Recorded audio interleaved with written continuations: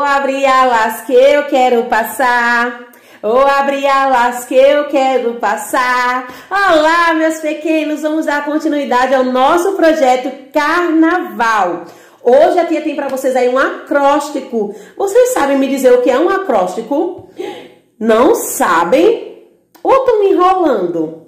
Vamos lá, o acróstico é uma poesia em que as primeiras letras, às vezes a do meio ou a do fim, de cada verso formam em sentido vertical um ou mais nomes ou um conceito. Olha só, então vamos lá. Cada verso forma em sentido vertical um ou mais nomes ou até mesmo um conceito.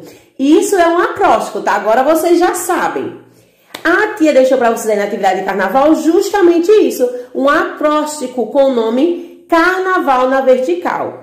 Para cada letra da palavra carnaval, você deve escrever outra, formando o acróstico sobre o carnaval. Então, capricha aí, com a letrinha C, o que, que eu devo fazer? O que, que eu devo escrever?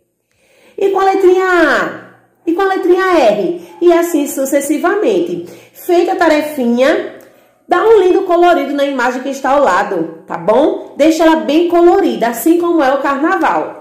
E não esquece, tá? Coloca o nomezinho de vocês na atividade e posta lá no grupo para tia estar tá acompanhando vocês, tá bom? Por hoje é só, encerramos por aqui. Beijinhos no coração, fiquem com Deus e até a próxima aula.